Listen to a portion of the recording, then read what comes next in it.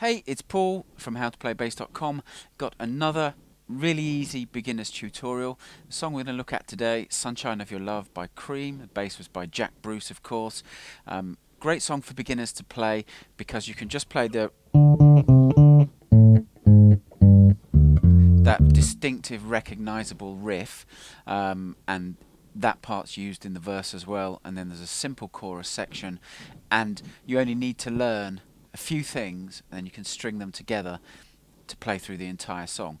Now, as you become more adept and more advanced, if you're playing this in a live context, you could stretch out, put in some variations, put in some connections. Um, if you've ever seen the Jack Bruce DVD, The Cream of Cream with Jack Bruce, he does a, there's a little mini segment about two, three minutes where he talks about Sunshine of Your Love and plays some variations that, in my opinion, is worth the cost of that DVD on its own. Some really great ideas, some great stuff going on.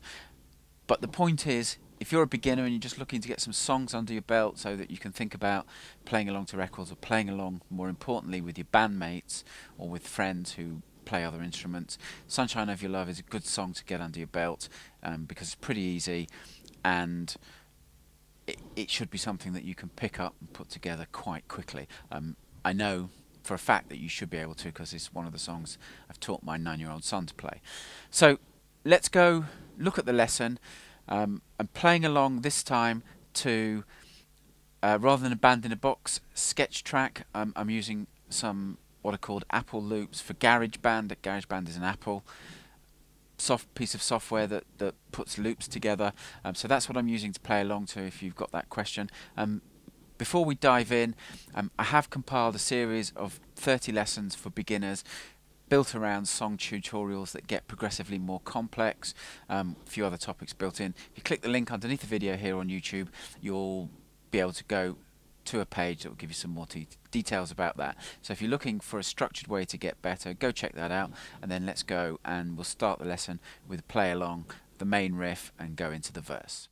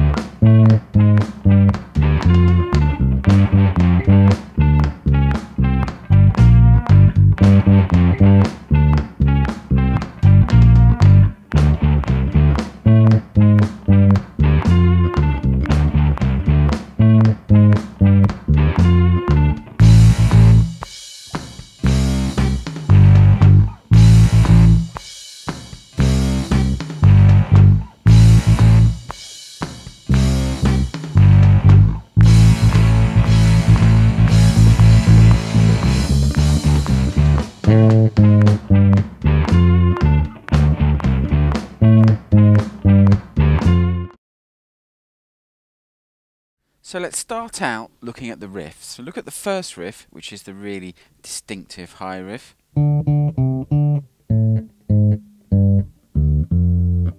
If you know your blues scale, basically your blues scale in reverse, um, just changes slightly at the end. What we've got is that's two Ds to a C back to D, which are the seventh and the fifth frets of the G string.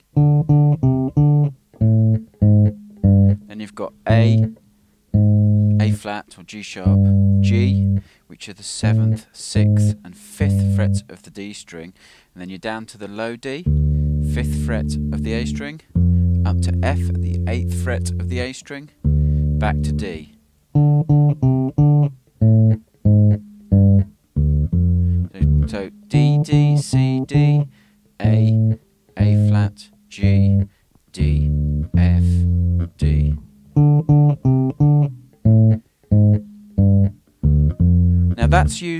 in the introduction. Um, and then you can use it, my recommendation is you use it to give some variety in the guitar solo. And we'll go and look at the next riff, which is the variation of this riff, but where it starts out with the D, D, C, D played an octave lower.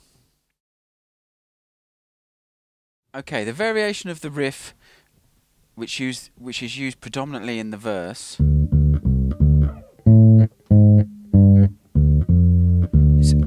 Same notes. The difference is instead of playing those first four notes there, we're playing them here. So we're playing two Ds at the fifth fret of the A string, C at the third fret, back to D, and then up to A, A flat, G, D, F, D.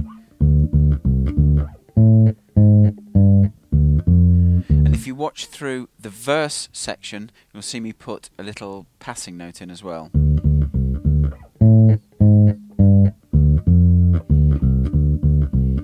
Another C in at the end there. The other thing to note is when you play the in the intro, when you play the first riff, those three notes are quite sharp and quite staccato. When you're playing in the verse, those notes occur on the same parts of the beat. They're actually on off beats or on and beats, um, but the notes are sustained. Okay, let's go and look at the other version of the riff that you need, which is in the verse when the riff goes to G. Okay, in the verse, after we play through the riff in D four times, we play through it twice in G. And the riff's identical to the high riff, but instead of starting on D, 7th fret of the G string, we're starting on G, at the 5th fret of the D string, so you're playing this.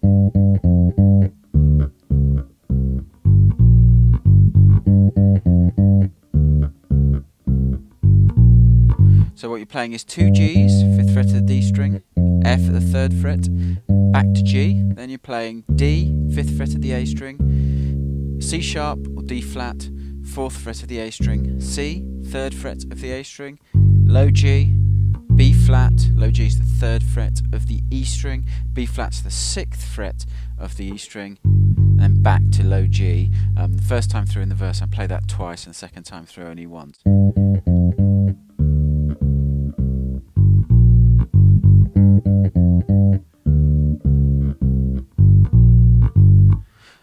Back to D, and then that takes us to the final section that we need to look at, which is the chorus.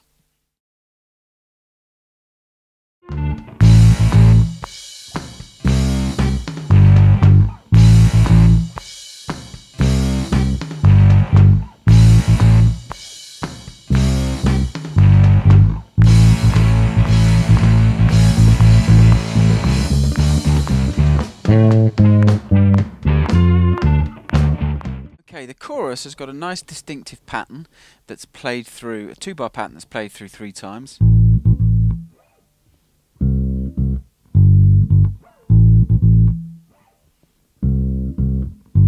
You've only got three notes in that pattern. You've got A, fifth fret of the E string, C at the third fret of the A string, G the third fret of the E string. So you're playing three A's and two C's.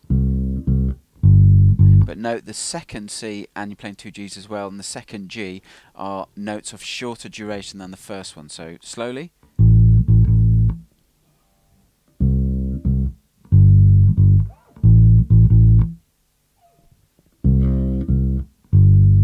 Okay, and then the the last two bars you're playing